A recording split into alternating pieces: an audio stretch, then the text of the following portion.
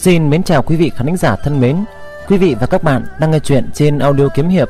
Mời quý vị và các bạn đến với tập 111 của bộ truyện Hậu tinh thần biến, Người đọc Khánh Duy, Nguồn Bạch Ngọc Sách, Tàng Thư Viện, Biên soạn Minh Hoàng. Mời quý vị và các bạn chúng ta cùng lắng nghe. Khi nghe Tần Vũ nói vậy Mai Thiên Hổ cũng không có nói gì.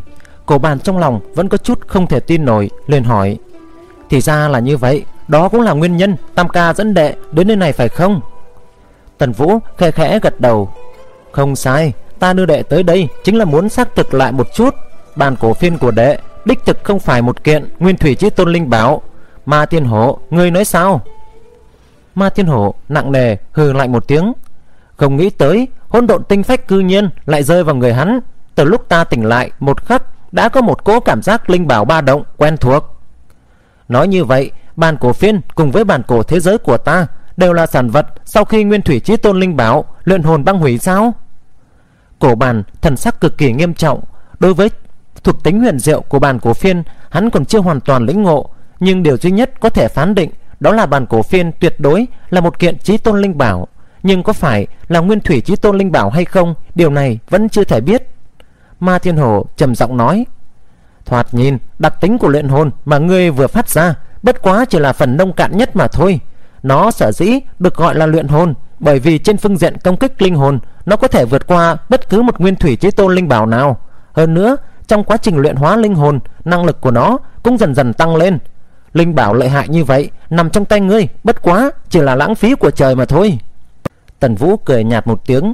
Lúc này, hỗn độn vật chất xung quanh Đột nhiên điên cuồng, Hướng vào phía trong bắt đầu khởi động. Hiển nhiên là dấu hiệu không gian đã không thể thừa nhận năng lượng khủng khiếp như vậy. Cả không gian của ma thiên hổ đều co rút lại với tốc độ kinh người. Tần Vũ phất tay rút lại trạch nguyên tố pháp tắc, vốn đang hình thành hãm không, trầm giọng nói, người cũng đã cảm giác được rồi. Nguyên thủy vũ trụ không ngừng co rút lại, chỉ sợ rằng không bao lâu nữa, tất cả không gian đều bị băng hủy hủy diệt. Người cũng không còn chỗ an thân nữa, chỉ có thể chờ nguyên thủy vũ trụ hoàn toàn biến mất thôi. Ma thiên hổ hừ lạnh một tiếng, ta không quan tâm nhiều chuyện như vậy cũng không có khả năng quản đến. Nếu luyện hồn vẫn vốn đã nằm trong tay các ngươi, vậy thì mau cút đi. Không lâu nữa, chúng ta sẽ gặp lại. Tần Vũ lập tức nhìn cổ bàn. Thời gian cũng không còn nhiều nữa, Chúng ta mau trở về thôi. Đoán chừng Sương Nhi cùng thần tôn bọn họ đã quay lại.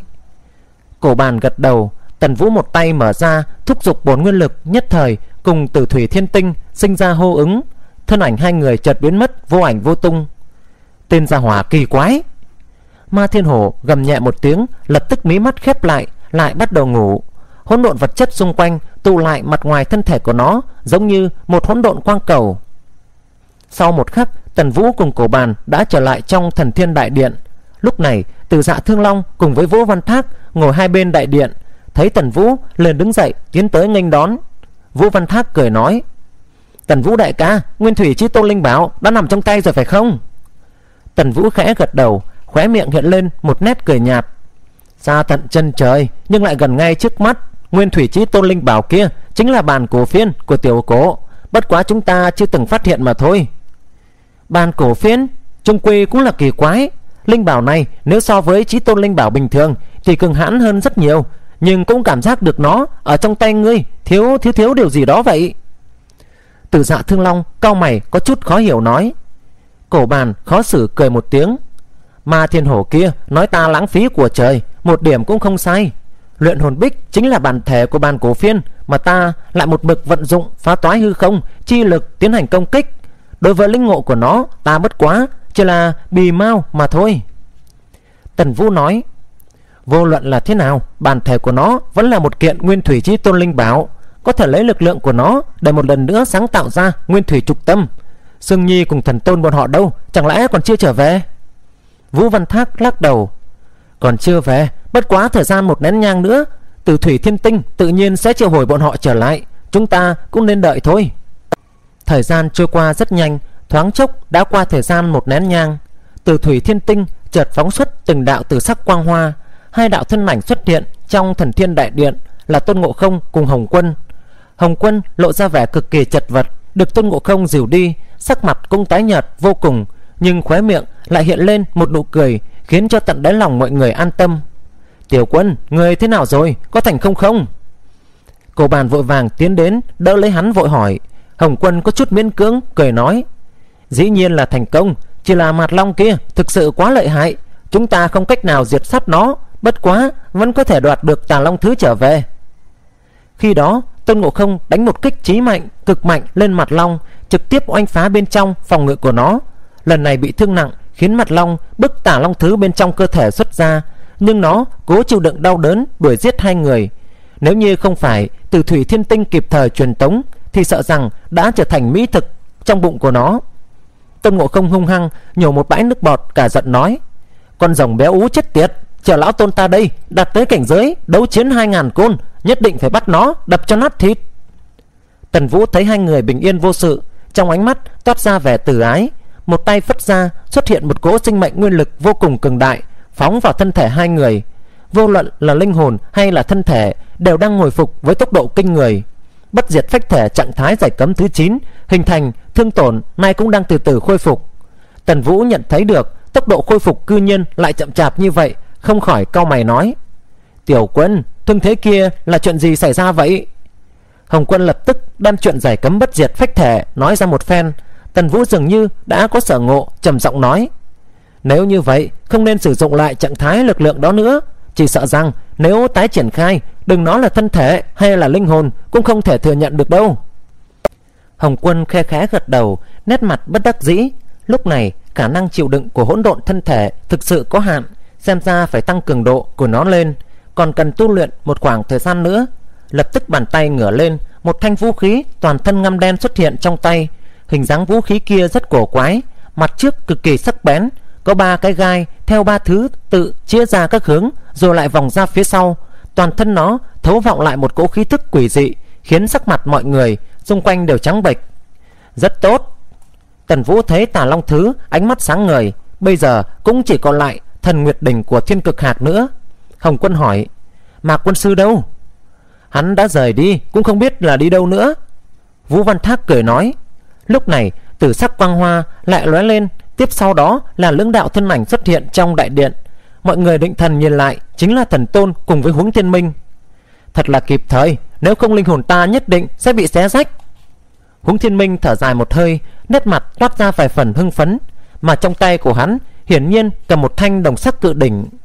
Sắc mặt của thần tôn trắng bệch Hiển nhiên là bị thương không nhẹ nhưng sau khi về tới đây, Cũng không tự kiềm chế được mà cười lớn. Tôn Ngộ Không hăng hắc cười nói, Lão huống, quả nhiên không tầm thường. Nói xem các người như thế nào, Lấy được thần Nguyệt Đỉnh đây. Không đợi hắn kịp nói, Tần Vũ đã thi triển địa nguyên tố phát tắc. Từng đoàn từng đoàn sinh mệnh nguyên lực tiến vào trong cơ thể hai người. Trên phương diện tu phục linh hồn, Sinh mệnh nguyên lực hiển nhiên có hiệu quả rất tốt. Sắc mặt của huống thiên minh cùng thần tôn lập tức hồng hào trở lại. Tần Vũ vỗ vỗ bả vai huống thiên minh, mỉm cười nói, Các người phải chịu khổ rồi. Thần tôn vội vàng đáp, Đây là điều thuộc hạ nên làm, Thần thiên nói như vậy là quá lời rồi. Huống thiên minh lộ vẻ sâu thảm Cười nói, Lần này thật đúng là hung hiểm vô cùng, Công kích linh hồn của thiên bà cực hạc Thật sự quá mạnh mẽ. Hơn nữa, phòng ngự của thần Nguyệt Đỉnh Cơ hồ là vô phương công kích, Nhưng nó thủy chung không thể phân thân đối phó với cả hai người chúng ta. Sau vài lần đánh lén Nguyên thủy ma thú kia bị phân tâm. Nhân cơ hội đó, chúng ta đã đoạt được thần Nguyệt Đỉnh. Tần Vũ hít vào một hơi thật sâu. Rốt cục đã hoàn thành. Thất đại nguyên thủy chí tôn linh bảo Đã toàn bộ tụ về. Việc này không nên chậm trễ. Ta sẽ đi ngay bây giờ. Đi đâu?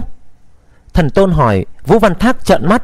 Người ngốc thật hay là giả bộ vậy? Dĩ nhiên là phải tới địa phương. Nguyên thủy trục tâm bị băng hủy rồi.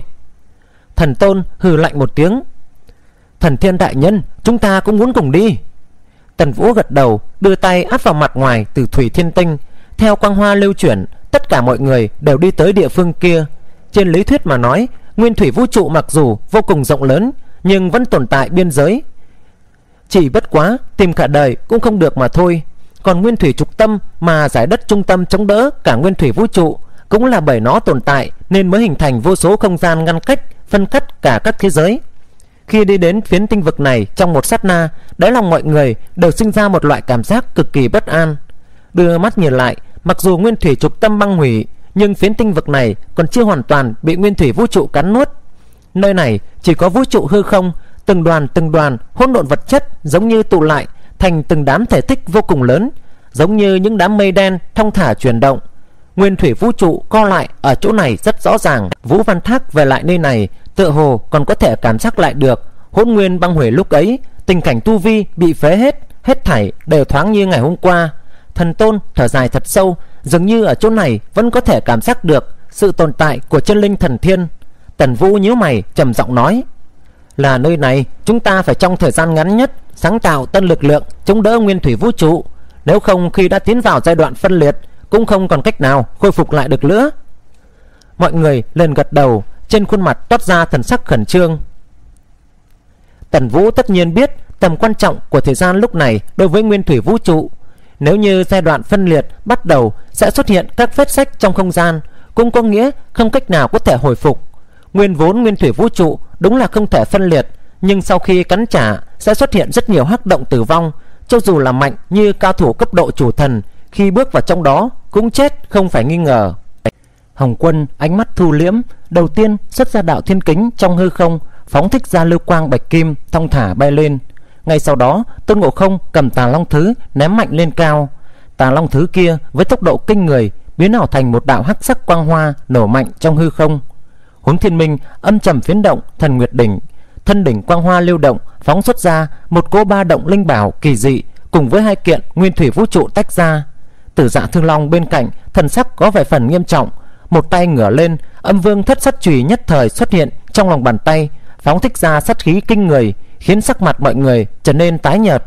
Lúc này, tứ đại nguyên thủy chí tôn linh bảo cũng đã lần lượt phát sáng. Tần Vũ hít một hơi thật sâu, hai tay phân biệt xuất ra thiên phạt kiếm cùng với tử thủy thiên tinh thong thả bay lên cao.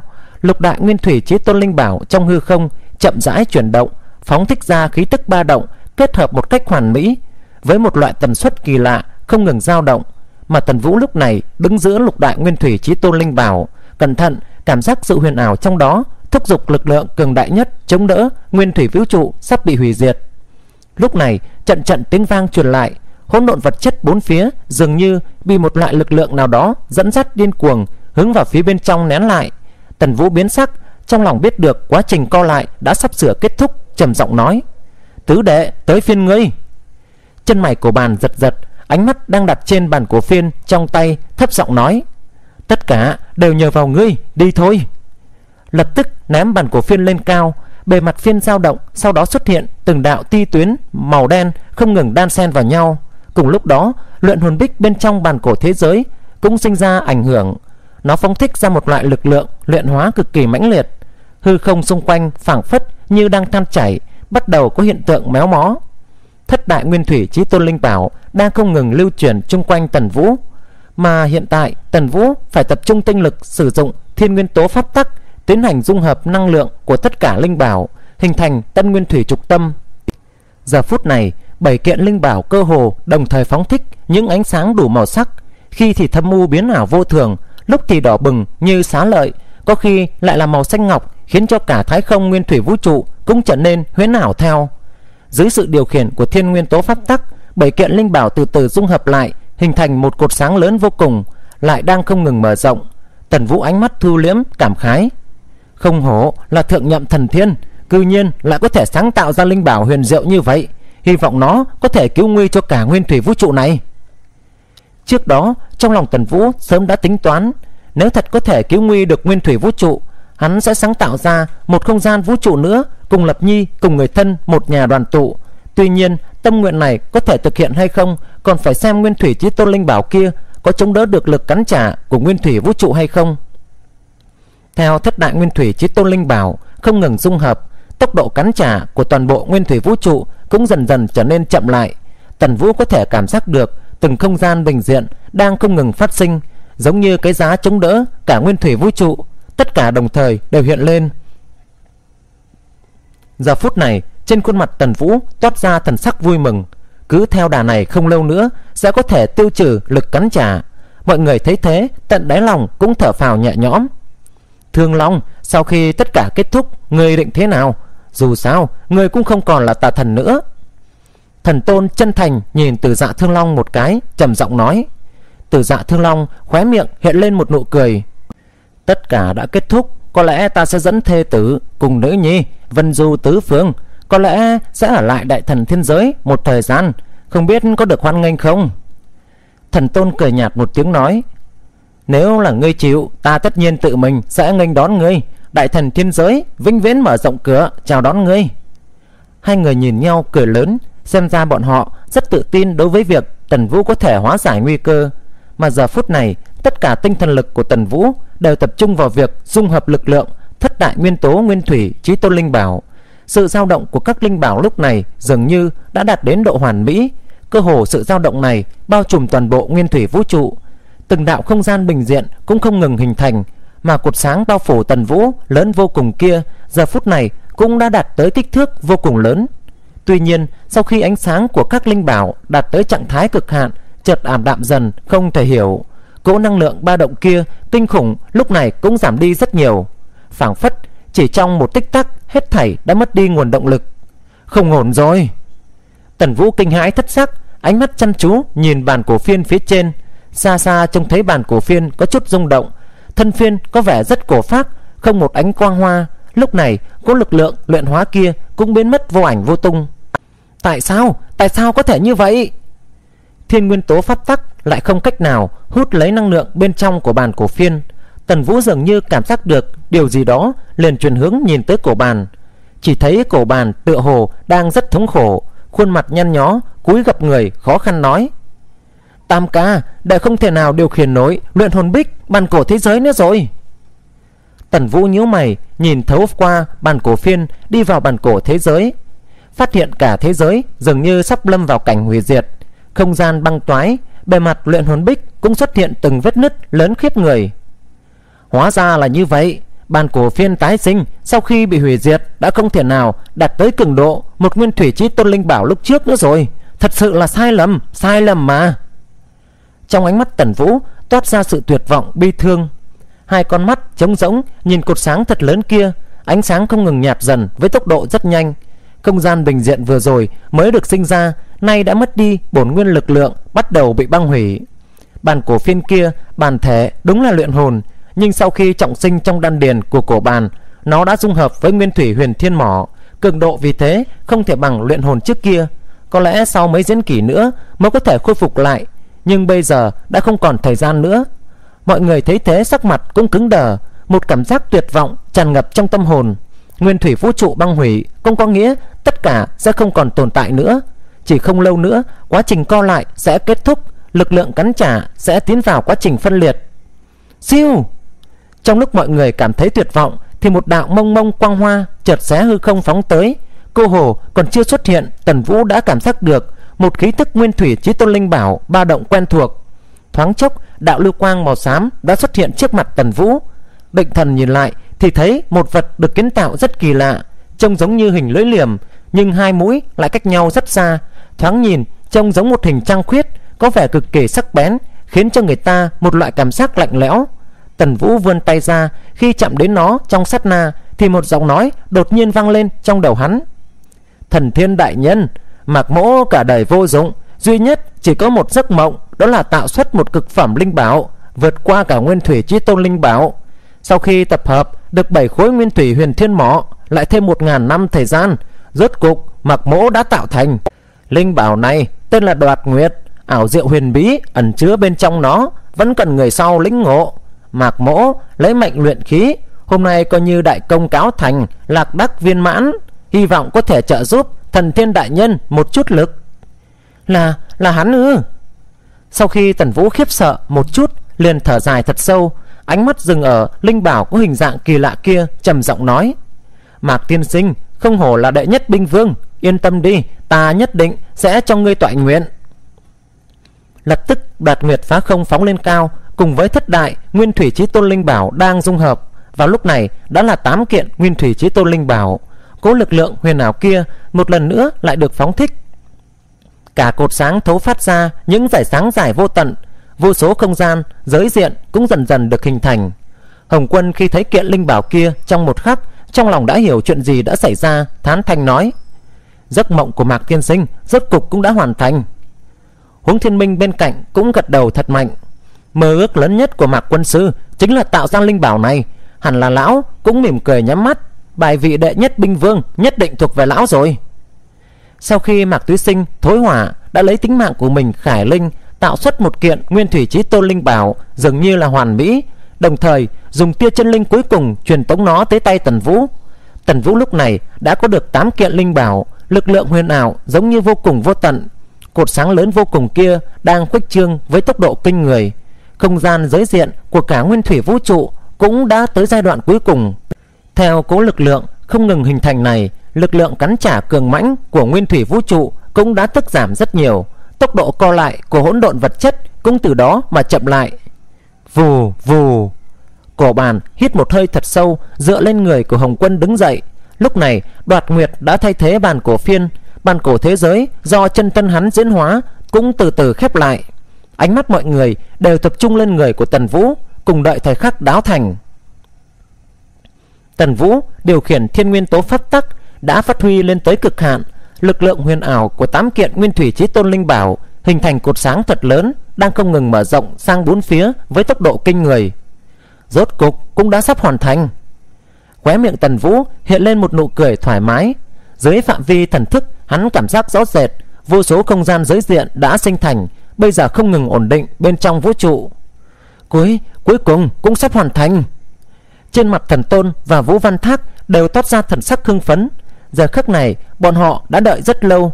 Ban đầu thần thiên vẫn mệnh đường xa. Hôm nay tần vũ với thần thiên chi vị Lại một lần nữa sáng tạo nguyên thủy trục tâm, Ngàn năm luân hồi, Vào giờ khắc này đã kết thúc.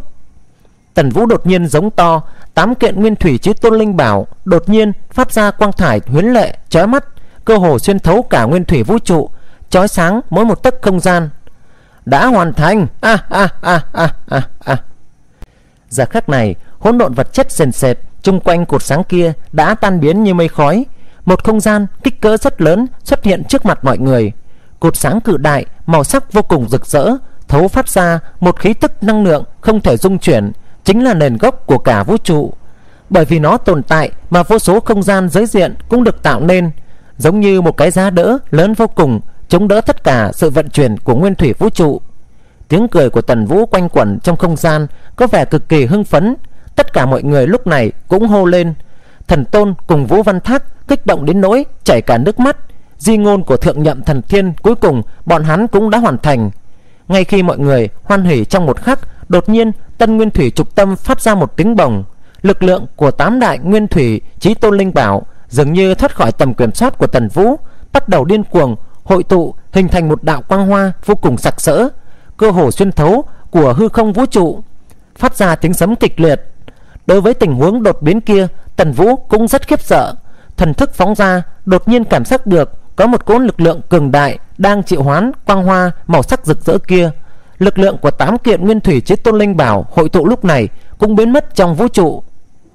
Tại tà thần giới, Tà thần cổ tháp Giờ phút này bảo tháp tăng thương cổ pháp kia Đột nhiên phát ra một trận nổ mạnh Cả thân tháp hiển nhiên sụp xuống Xuất hiện trong hư không một hắc động u ám giống như một dòng suối màu đen bị nghiêng. Trong không gian cổ tháp dường như phóng xuất ra một cỗ lực lượng triệu hoán, tự hồ đang kêu gọi điều gì đó. Tại trung tâm nguyên thủy vũ trụ, giờ phút này Tần Vũ đột nhiên bay tới bên cạnh mọi người, trầm giọng nói: "Thật là kỳ quái, nguyên thủy trục tâm kia mặc dù đã sáng tạo thành công, nhưng lực lượng của tám đại nguyên thủy chí tôn linh bảo lại đột nhiên thoát khỏi sự kiểm soát của ta, giống như bị một thế lực nào đó triệu hoán." "Cái gì?" Thần tôn có vẻ cực kỳ khiếp sợ Tần Vũ thở dài thật sâu Bàn tay ngửa lên Trong hư không xuất hiện tám kiện nguyên thủy chí tôn linh bảo đang rơi xuống Lúc này chúng đã mất đi bổn nguyên lực bên trong Nên phảng phất như đang lâm vào ngủ say Ảm đạm vô cùng Không bằng cả một kiện vũ khí bình thường nhưng nguyên thủy chí tôn linh bảo Chỉ cần trải qua một thời gian ngắn bổ sung hỗn độn vật chất Lại có thể khôi phục bổn nguyên lực. Hồng quân, cổ bàn đều tự thu hồi đạo thiên kính cùng bàn cổ phiên. Tần Vũ một mặt lại phóng xuất thần thức hạn độ lớn nhất truy tìm phương hướng lực lượng kia bị triệu hoán, mặt khác điều khiển Nguyên Thủy Chí Tôn Linh Bảo cười nhạt. Lúc này, Nguyên Thủy trục tâm đã hình thành, vài món Nguyên Thủy Chí Tôn Linh Bảo này đối với ta cũng không có tác dụng gì nhiều, bây giờ ta phân cho các ngươi. Lời vừa dứt, ánh mắt mọi người sáng lên, đây chính là Nguyên Thủy Chí Tôn Linh Bảo, cả Nguyên Thủy vũ trụ cũng chỉ có được vài kiện như vậy, có thể có được chúng cảnh giới nhất định sẽ tăng lên rất nhiều, thực lực cũng sẽ mạnh lên gấp nhiều lần. Loạn thần chính là một điển hình. Tần Vũ nhìn kiện linh bảo Đoạn Nguyệt do đại nhất binh vương Mạc tuế Sinh đã tạo nói. Thiên Minh, Đoạn Nguyệt kia chính là Mạc Tiên Sinh dùng tính mạng tạo ra, nó cùng với thiên đạo chi nhận của ngươi có vẻ phần tương tự, tiểu giao cho ngươi nắm giữ, còn về phần huyền ảo trong đó, ngươi phải cẩn thận lĩnh ngộ, nhất định không được phụ sự khổ tâm của Mạc Tiên Sinh. Huống Thiên Minh quan sát Đoạn Nguyệt, trên khuôn mặt hiện lên sự tôn kính, trầm giọng nói: "Rõ, Tần Tiền Bối." Tần Vũ khẽ khẽ gật đầu, lập tức nhúc nhích đầu ngón tay, thần nguyệt đỉnh thật lớn đã dựng lên, quang hoa của thân đỉnh lưu chuyển, phóng xuất ra một tia quang hoa, khiến người khác cảm thấy khoan khoái. Tương truyền, thần nguyệt đỉnh có thể luyện chế, ngưng tụ chân nguyên, cùng để trọng tố thân thể. Vu Văn Thác, ngươi tu luyện địa nguyên tố pháp tắc trên phương diện điều khiển sinh mệnh nguyên lực, tin rằng nó sẽ trợ giúp rất lớn cho ngươi. Bây giờ nó sẽ thuộc về ngươi. Vũ Văn Thác hí hửng cười nói, đa tạ thần Vũ đại ca, giao cho ta được rồi.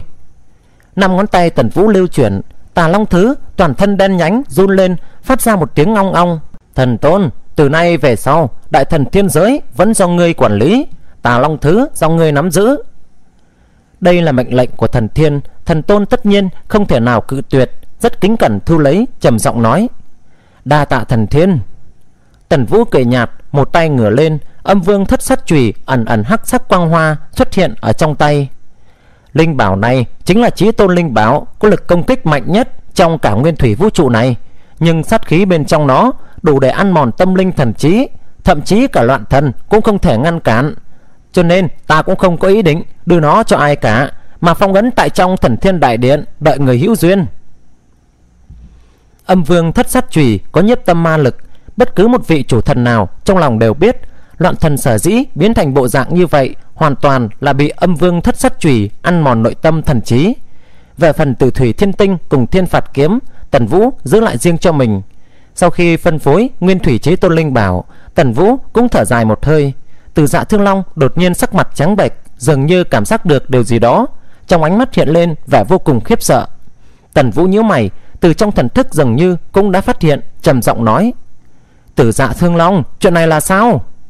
Tử Dạ Thương Long nghiến chặt hàm răng rít khẽ: "Làm sao có thể? Nơi phát ra có lực lượng triệu hóa năng lượng linh bảo lại chính là bên trong tà thần của tháp của ta." Thần Tôn cùng Vũ Văn Thác thần sắc cũng đại biến, kinh ngạc nói: "Như thế nào lại vậy?" Bọn họ cũng biết trong không gian tà thần cổ tháp có những gì. Là trong cơ thể của Vũ Kình sao? Tần Vũ cảm giác được cố lực lượng triệu hoán rõ ràng từ trong cơ thể của Vũ Kình phóng ra. Tuy nhiên, trong cơ thể của Vũ Kình kia lại là thần thiên mộ địa. Cố lực lượng triệu hoán hách nhiên là từ trong thần thiên mộ địa truyền tới. Ánh mắt mọi người cũng hiện lên vẻ vô cùng kinh ngạc. Thần thiên mộ địa cư nhiên tại lúc này lại sinh ra dị biến, một cỗ cảm giác bất an nổ lên trong lòng Tần Vũ. Tại vòng xoáy màu đen u ám kia, một đạo thái sắc quang hoa ẩn chứa lực lượng khổng lồ tràn vào bên trong, phút chốc đi tới cơ thể của Vũ Kình. Cách đó không xa, thần thiên mộ địa trôi nổi trong hư không, tuy nhiên vào giờ khắc này cũng dường như lộ ra vẻ cực kỳ bất an, đang không ngừng rung động, phát ra âm thanh trầm muộn. Mộ địa xám trắng, một thạch bia đứng vững bên trong. Đột nhiên, quang hoa sặc sỡ kia hội tụ trên bầu trời mộ địa chợt trắng bạo. Lưu quang hoa mỹ rực rỡ rơi xuống, khiến cả mộ địa cũng trở nên lấp lánh cực kỳ đẹp mắt. Cỗ quang hoa sặc sỡ ẩn chứa lực lượng của tám kiện nguyên thủy chí tôn linh bảo từ từ sát nhập vào cả mộ địa. Cũng không ai biết vì sao mộ địa lại triệu hồi cỗ lực lượng này, nhưng tại lúc này thần thiên mộ địa lại khiến cho cả nguyên thủy vũ trụ phát sinh dị biến. Đột nhiên, một vết nứt xuất hiện phía trên một bia mộ bóng loáng đang không ngừng mở rộng, truyền đến một tiếng răng sắc rồi đột nhiên trở thành âm thanh băng liệt nứt vỡ không lâu sau, cả mộ địa cũng bị tàn phá, không thể tả. Tất cả mộ bia đều hoàn toàn tan vỡ. Quang hoa rực rỡ vào lúc này huyến lệ vô cùng. Cả thần thiên mộ địa cũng thấu phát ra một cỗ khí tức rất quỷ dị. Một khu mộ hoàn toàn yên lặng trong ngàn vạn diễn kỷ, vào lúc này lại như sống dậy, phát ra tiếng giống giận chấn vang cả nguyên thủy vũ trụ. Sát na trong lúc này, cả mộ địa đều vỡ vụn ra, tất cả những nắp mộ đều tan nát. Dưới sự bao phủ của quang hoa rực rỡ, hơn 30 đạo quang hoa phóng lên cao, lập tức một trận cười cuồng tiếu vang dội cả vũ trụ. Trở lại, rốt cục đã trở lại rồi. A a a a a a a. hơn 30 đạo quang ảnh dưới ánh sáng rực rỡ dọi xuống đều không nhìn rõ khuôn mặt, nhưng từ khí tức khủng khiếp trên người bọn họ phóng ra, có thể nói rằng tất cả tuyệt đối mạnh hơn cả chủ thần. Giờ phút này, từng đoàn hồng vân trong hư không ngưng tụ lại, hình thành một hồng sắc thủ trưởng hung hăng đập xuống.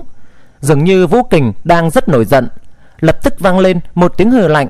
Trong lúc này, một cỗ lực lượng vô hình chợt bộc phát, thế công của Vũ Kình trong nháy mắt tan biến, lại một trận cười vang lên, hơn 13 mươi đạo quang ảnh trong lúc này nháy mắt biến mất vô ảnh vô tung. Thần thiên mộ địa tồn tại ngàn vạn diễn kỷ và giả khắc này đã hoàn toàn băng hủy, không còn tồn tại nữa. Thông qua thử thủy thiên tinh, thoáng chốc mọi người đã đi tới trong cơ thể của Vũ Kình. Trong một thời gian ngắn, khí tức cường đại lan tỏa khắp mỗi một tấc không gian, cơ hồ khiến cảnh giới thần thiên như Tần Vũ cũng phải phát run. Thần, thần thiên mộ địa biến mất rồi ư? Tử Dạ Thương Long nhìn một đống đổ nát phía trước, ánh mắt cũng toát lên vẻ cực kỳ khiếp sợ. Rốt cục là làm sao vậy? Đột nhiên phát sinh chuyện kỳ quái, khiến cho tận đáy lòng của bọn người Hồng Quân đều phát hoảng. Trong ngàn vạn diễn kỷ trước vẫn tồn tại thần thiên mộ địa, tại sao vào lúc này lại đột nhiên băng hủy? Điều này khiến cho tất cả mọi người đều cảm giác được có chút khó hiểu, mà khí tức cường giả bốc lên trùng trùng như vậy lại là chuyện gì nữa đây? Tần Vũ sắc mặt tái nhợt trầm giọng nói: Xem ra mới vừa rồi là thần thiên bộ địa triệu hoán lực lượng huyền ảo của nguyên thủy Chí tôn. Nhưng nguyên nhân là gì? Khí tức cường giả hiện lên vừa rồi là chuyện gì đấy? Trong tim của hắn mơ hồ cảm giác được bất cứ một người nào trong số này thực lực cũng hơn xa mình. Hôm nay Tần Vũ đã bước vào cảnh giới thần thiên, có được bát đại nguyên tố pháp tắc, trạng thái cực hạn cùng với hỗn độn lực huyền ảo. Có thể nói là đỉnh phong chi thần trong cả vũ trụ nhưng khí tức mới vừa rồi so với hắn thậm chí còn mạnh hơn. Vũ Văn Thác bên cạnh sắc mặt cũng trắng bệch kinh ngạc nói: "Ta, ta vừa rồi cảm giác được khí tức của thượng nhậm thần thiên, sau đó lại biến mất trong nháy mắt." "Là ngài, ngài đã trở lại." Thần Tôn rất chắc chắn nói, hơi thở của thượng nhậm thần thiên hắn vĩnh viễn không thể quên. Cổ bàn vừa nghe thấy thế, không khỏi hít một hơi lạnh. Nói như vậy, thượng nhậm thần thiên đã sống lại rồi sao? Không chỉ có thế, ta nghĩ các nhậm thần thiên trước đó cũng đã đều sống lại. Ánh mắt Tần Vũ chớp động, thần sắc vô cùng khiếp sợ, trầm giọng nói. Lập tức hai tay ngửa lên, lộ ra một cuốn trục trước mặt mọi người, chậm chậm mở ra. Mọi người nhìn kỹ lại, hách nhiên nhìn thấy danh tự của 37 nhậm thần thiên trước đây mờ nhạt thì nay đã trở nên sáng vô cùng. Rất hiển nhiên, 37 người vốn là thần thiên đã vấn mệnh khi gặp thần kiếp nay đã xuất hiện bên trong nguyên thủy vũ trụ Tử dạ thương long nhìn về phía xa xa lầm bầm nói Tất cả thần thiên đã sống lại Vậy vũ trụ này sẽ ra sao đây Thần thiên cũng có nghĩa là trưởng khống giả cao nhất trong vũ trụ. Bây giờ chỉ trong phút chốc đã xuất hiện hơn 30 vị trưởng khống giả Thực sự khiến cho người ta kinh sợ. Thần thiên sống lại là phúc hay là họa Lúc này còn khó có thể kết luận. Chúng ta về đại thần thiên giới trước cùng thương nghị. Tần Vũ trầm giọng nói Mọi người cũng đồng ý đồng thời gật đầu. Lúc này tất cả thần thiên sống lại đã biến mất trong mang mang nguyên thủy vũ trụ. Tại một nơi trong nguyên thủy vũ trụ, bên trong đám hỗn độn vật chất sền sệt là thân thể bị tàn phá của chiến thần đang chậm chậm hồi phục. Dưới sự chữa trị của hỗn độn vật chất, bề mặt thân thể của hắn cũng đang không ngừng khép lại. Nhưng hắn đã mất đi chủ thần lực, thực lực bây giờ nhiều lắm cũng chỉ có thể coi là cao thủ quy thần cảnh giới. Muốn một lần nữa trở lại cảnh giới chủ thần, chỉ sợ phải tu luyện vô số diễn kỷ nữa cũng khó có thể. Sát na trong lúc này, chiến thật đột nhiên biến sắc, cảm giác được một cỗ khí tức vô cùng cường đại như thủy triều không ngừng tiến gần tới mình. Là ai? Chiến thần căng thẳng thần kinh, cố khí tức chưa tới gần thì một áo lực phô thiên cái địa đã bao trùm lấy hắn. Mặc dù là hỗn độn thân thể cũng không thể nào chịu nổi sức ép của cỗ lực lượng này. Trên đầu của thần thiên kia, hách nhiên lại là từng sợi tóc đang không ngừng bay bổng. Thoáng chốc, một thân ảnh cao lớn xuất hiện cách chiến thần không xa. Người nọ thân vận bạch y như tuyết, khuôn mặt như tạc từ bạch ngọc, tuấn mỹ tuyệt luân, lông mi cũng màu trắng, tóc bạc dài chấm đất, khí thế vững vàng. "Ngươi, ngươi là ai?"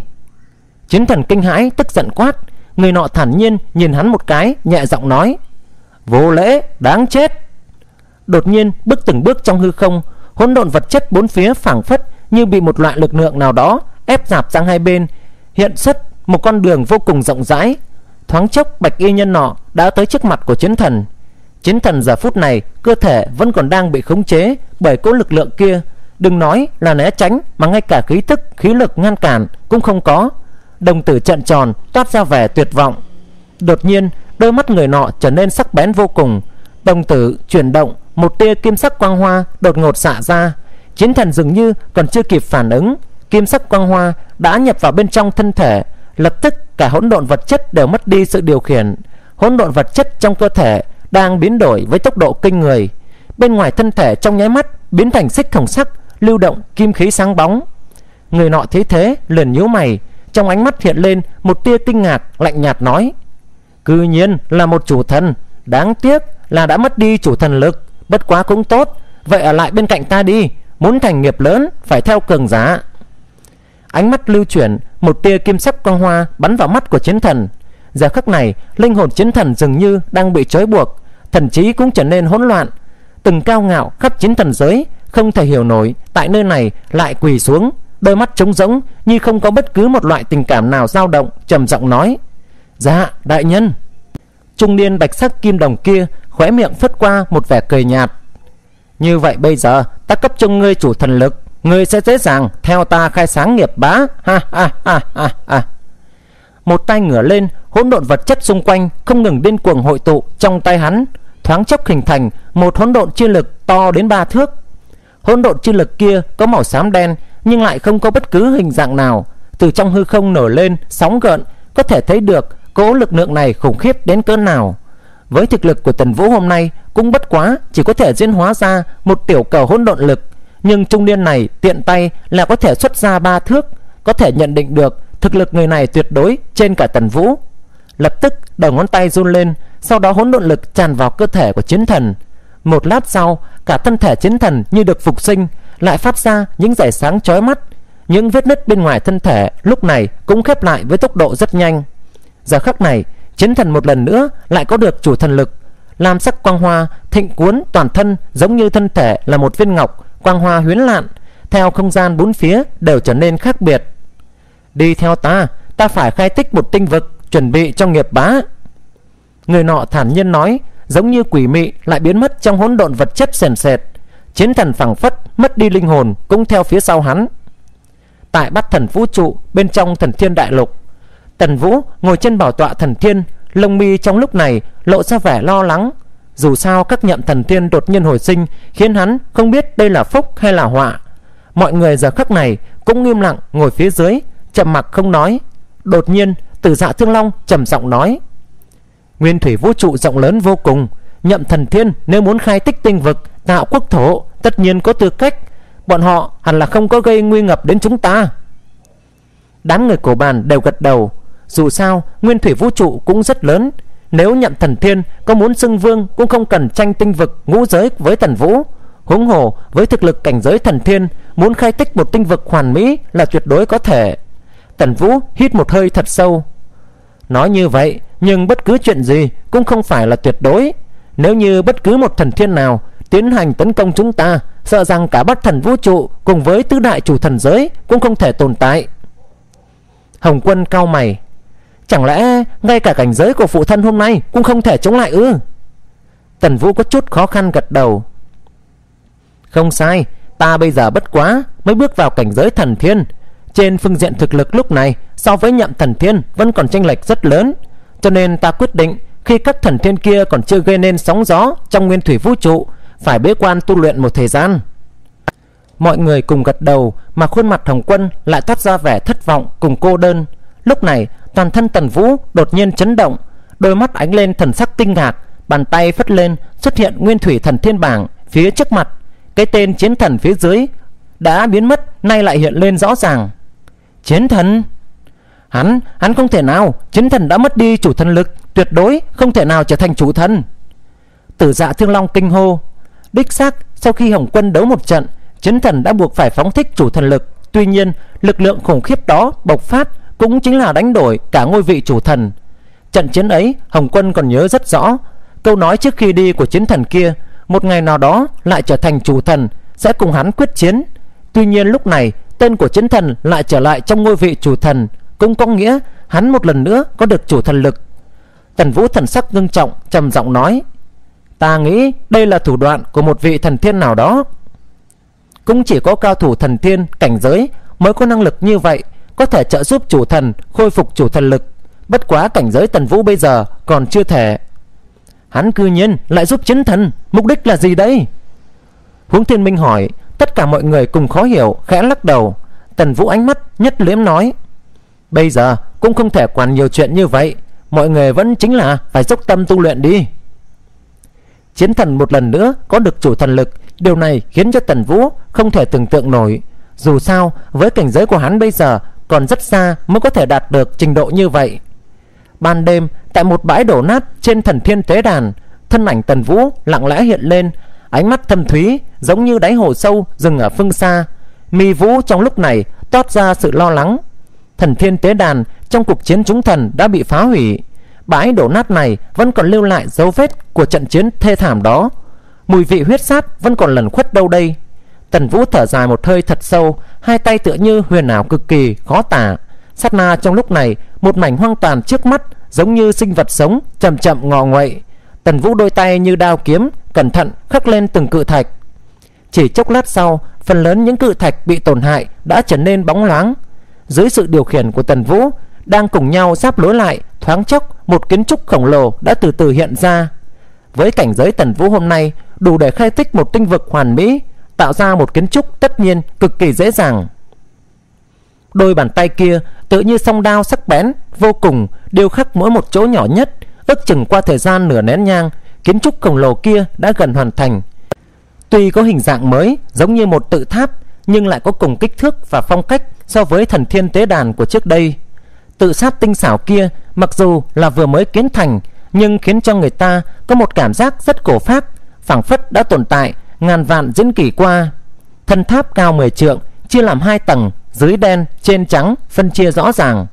Tần Vũ dừng ở tự tháp kia lạnh nhạt nói: "Ta sẽ tu luyện ở đây." Sau đó lập tức đi vào trong tháp.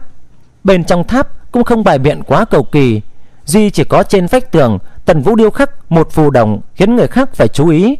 Trong tầng thứ nhất của tháp bố trí một chiếc bàn đá và ba chiếc ghế cũng bằng đá. Bên trên là cầu thang dẫn lên tầng 2. Tần Vũ bước đi thong thả, ánh mắt chỉ dừng lại xung quanh trong chốc lát rồi thẳng tiến tới tầng 2. Tầng 2 hiển nhiên là vì tu luyện mà cố ý bố trí, trừ một chiếc giường đá ra không còn vật gì khác. Tần Vũ dùng mũi chân làm trụ, tự dưng toàn thân bay lên, rơi vào giữa giường đá một cách nhẹ nhàng. Lúc này đang ngồi xếp bằng, hai mắt khép hờ phảng phất như đang nhập định. Giờ phút này, một lớp hỗn độn khí nhàn nhạt, nhạt bao quanh hắn, lộ ra vẻ cực kỳ quỷ dị. Hiện tại, Tần Vũ bước vào cảnh giới thần thiên chưa lâu, trên phương diện thực lực kém xa so với những đại thần thiên đã tồn tại hàng ngàn vạn diễn kỷ. Tuy nhiên, từ những tin tức trên Nguyên Thủy Thần Thiên bảng, hắn cảm giác được đa số phương thức trở thành thần thiên khác nhau, có khi là lấy linh hồn tu luyện mà bước vào cảnh giới thần thiên, có khi là lấy nguyên tố pháp tắc tu luyện mà trở thành thần tiên, cũng có khi có người lấy phương pháp tu luyện hỗn độn thân thể giống như Hồng Quân. Đạo có ngàn vạn đạo, chỉ có thể lấy một, không thể nói muốn trở thành thần tiên phải cần dựa vào con đường tu luyện hay là truyền thừa. Nhưng phàm có thể tiến hành đột phá tu vi, có thể nắm trong tay vũ trụ bổn nguyên lực lượng, có thể đủ để trở thành thần thiên, Bất quá, con đường này rất dài, Tần Vũ có thể trong thời gian ngắn ngủi đạt tới cảnh giới khiến cả chủ thần cũng phải xấu hổ như vậy, cũng xem như là một kỳ tích trước đó chưa từng có. Tuy nhiên, sau khi đạt tới cảnh giới thần thiên, diễn biến hỗn độn cũng sẽ xảy ra thay đổi rất lớn. Nói đến Tần Vũ bây giờ đã có thể sử dụng một lượng hỗn độn vật chất tinh thuần nhất, từ đó có được hỗn độn lực kinh khủng nhất. Nhưng đối với điều khiển hỗn độn lực, hắn luôn hiểu rõ vẫn còn bị vây trong một giai đoạn sơ cấp nhất, đó cũng chính là nguyên nhân hắn nóng lòng tu luyện. Hỗn độn chi lực cũng không phải giống như loạn thần giới, bằng vào binh khí mà sinh ra lực lượng. Về độ tinh thuần cùng với cường độ đều khủng khiếp hơn. Tần Vũ thần sắc ngưng trọng, khẽ lắc đầu. Với cảnh giới hiện tại của ta so với các nhận thần thiên ngày trước, thực sự chênh lệch quá lớn. Xem ra phải nhanh chóng tu luyện mới được. Các nhậm thần thiên đã không ngừng tu luyện trong ngàn vạn diễn kỷ, Thực lực đối với Tần Vũ mà nói như mây cao không thể với tới. Giờ phút này, hỗn độn vật chất xung quanh đột nhiên run lên, hình thành khí lưu hắc sắc không hình dạng. Trong tay Tần Vũ không ngừng ngưng tụ lại. Tần Vũ nhíu mày, cả thân thể đều run lên nhẹ nhẹ, phảng phất đang thu phục một con ngựa hoang, chỉ cần đứt cương là mất đi sự kiểm soát. Cường đại của hỗn độn lực hơn xa so với Tần Vũ tưởng tượng Tần Vũ hôm nay có thể điều khiển bất quá, Chỉ là sóng nước trên biển mà thôi. Huyền bí ảo diệu trong đó, Cho dù là các nhậm thần thiên, Cũng không cách nào hoàn toàn nắm trong tay. Nguyên thủy vũ trụ lớn như vậy, Thời gian các nhậm thần thiên điều khiển Cũng không giống nhau. Có thần thiên đương chức, chỉ một vạn diễn kỷ Đã gặp thần kiếp, Mà có một số lại sống cả ngàn vạn diễn kỷ. Dường như thời gian đối với họ mà nói Chỉ là hư vô, Không có bất cứ ý nghĩa gì, Cho nên cảnh giới tu luyện cũng không giống nhau. Từ trong tin tức của Nguyên Thủy Thần Thiên Bảng, Tần Vũ có thể nắm trong tay phần lớn khả năng tu luyện của thần thiên, Nhưng Duy chỉ có rất nhiều thần thiên dường như biến mất trong thần thiên bảng. Mơ ảo không cách nào truy tìm. Điều này khiến cho Tần Vũ một cảm giác rất kỳ lạ, Nhất là nhậm thần thiên đời thứ nhất Cũng có nghĩa là tồn tại như một sáng thế thần. Hắn không còn xuất lại bất kỳ tin tức gì trên thần thiên bảng. Cảnh giới tu vi cũng không biết đã đạt tới cường độ như thế nào. Sau khi trầm tư trong chốc lát Tần Vũ rút cục đã tính tâm trở lại. Hỗn độn lực bé bằng nắm tay kia đang không ngừng bành trướng, từ từ khuếch tán hẳn lên. Từ chung quanh thân thể hình thành một lớp phòng hộ. Bất quá, tần vũ hiển nhiên không thể nào tự nhiên thao khống hỗn độn lực vận chuyển. Vỏ bọc phòng ngự kia hình dáng không ngừng biến ảo, nhìn qua cực kỳ bất ổn. Nếu muốn đạt tới thu phóng tự nhiên, phải trải qua một giai đoạn lĩnh ngộ nữa. Trên trán tần vũ lấm thấm mồ hôi lạnh, hít một hơi thật sâu tinh lực toàn bộ tập trung trong đám hỗn độn lực trong tay Dần dần hắc sắc khí lưu kia giống như con dã thú đã bị thu phục, từ từ bình tĩnh trở lại. Lập tức Tần Vũ gia tăng số lượng diễn hóa hỗn độn lực, khi lớn lên mức độ nhất định lại trở thành trạng thái trống rỗng. Lực lượng Tần Vũ điều khiển cũng đang không ngừng tăng lên. Đầu tiên phải đạt tới cảnh giới điều khiển tự nhiên, sau đó mới có thể lĩnh ngộ huyền bí ảo diệu trong đó. Đây là kế hoạch tu luyện của Tần Vũ. Đêm đã qua, thông qua từ Thủy Thiên Tinh, Vũ Văn Thác cùng với bọn người cổ bàn cũng đã trở lại địa phương cai quản của mình. Từ Dạ Thương Long cũng trở lại tà thần giới. Lâm Vũ Trần cùng Tử Băng Linh biết hắn không có việc gì, trong lòng cũng rất là vui mừng, đang ở tà thần điện đợi hắn trở về. Mà thần tôn vẫn tiếp tục quản lý cả đại thần thiên giới. Mấy tháng sau tại tà thần giới, bên trong tà thần điện, Vũ Văn Thác ngồi trên bảo tọa ngày trước của tà thần, thân mặc một trường bào màu đen, thoạt nhìn có vài phần phong thái giới giả. Mấy tháng nay, hắn đã hiểu rõ tình trạng bắt tộc cùng với các đại tinh hệ bởi hắn đã được tử dạ thương long bổ nhiệm làm giới chủ cho nên cả tà thần vũ trụ đối với vũ văn thác cũng cực kỳ tán thành. Lúc này tự dạ thương long từ bên ngoài điện đi tới. Lâm vũ chân cùng tử băng linh theo sau hắn.